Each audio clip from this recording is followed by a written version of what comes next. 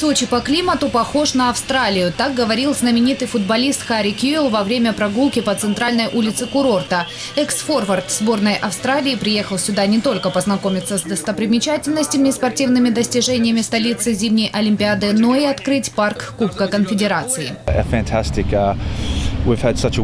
Первое впечатление от Сочи – это фантастический город. Теплый не только по погоде, но и по гостеприимству. Уверен, здесь все матчи Кубка Конфедерации пройдут на высоком уровне. Я буду болеть, естественно, за сборную Австралии и надеюсь, что после выхода на сочинское поле игроки захотят провести здесь и отпуск.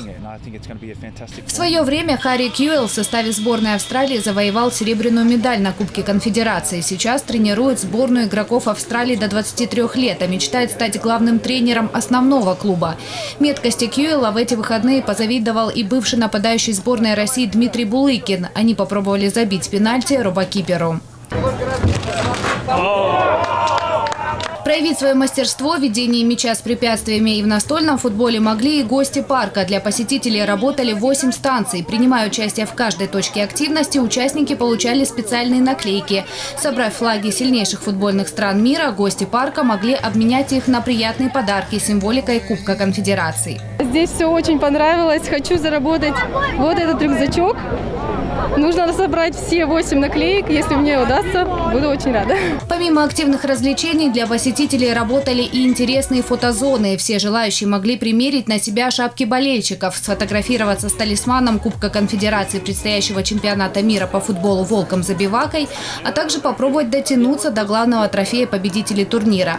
А вот главный подарок для истинных поклонников футбола – возможность побывать на матчах любимых сборных. В родном городе Павла Чернова в Санкт-Петербурге тоже пройдут матчи Кубка Конфедерации. Это вообще сенсация для нашей страны, чтобы принимать такое футбольное мероприятие. Наша сборная играет как хозяйка. Я надеюсь на успешное выступление нашей команды. Ну и легенды приедут, там мировые, и даже Мексика, Германия, там Португалия Криштиана к нам приедет.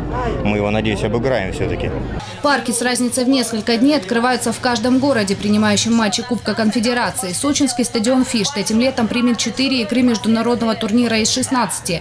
По прогнозам специалистов, во время Кубка Конфедерации наш город посетят около миллиона туристов. Принять всех курорт, как и всегда, готов. После проведения Олимпийских игр мы готовы к любому масштабному событийному мероприятию. Городская среда э, всегда, во все времена в городе поддерживается на самом высоком уровне. Всегда в городе цветы цветут, всегда хорошее настроение. Город очень гостеприимный.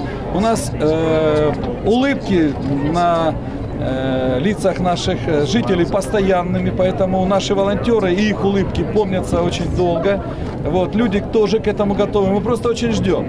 Поэтому я уверенно могу сказать, мы готовы на все сто процентов. Добро пожаловать в город Сочи на Кубок Конфедерации. Первый матч пройдет 19 июня. На Сочинской арене сыграют сборные Австралии и Германии. 21 числа на поле выйдут игроки Новой Зеландии и Мексики. 25 июня на фиште встретятся сборные Германии и Камеруна. А 29 на Сочинскую арену выйдут победители группового этапа.